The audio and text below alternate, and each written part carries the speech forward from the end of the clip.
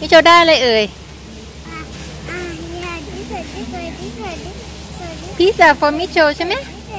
เออพิซซ่า for มิโช oyster for มามีนี่ แล้วก็สลัดหอยนางรมนะคะเขาจะเสิร์ฟกับซอสอันนี้นะคะ มันจะเป็นคล้ายๆซอสมะเขือเทศ แล้วอันนี้มันจะเป็น horse radish มันจะเป็นคล้ายๆ เอ่อ fresh วาซาบินะคะวาซาบิสดหรือไม่ก็ขิงนะคะ ปกติเวลาที่เขาที่นี่นะคะแบบเวลาที่เขาเสิร์ฟ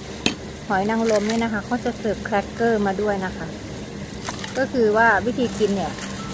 เขาก็คือเอาเอาขนมปังอันนี้แครกเกอร์เนี้ยนะคะ แล้วก็เอาหอยเอาไว้ด้านบนนะ เอาหอยมาได้พัก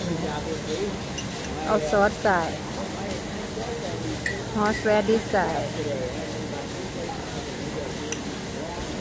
อ่าฮะแล้วก็กิน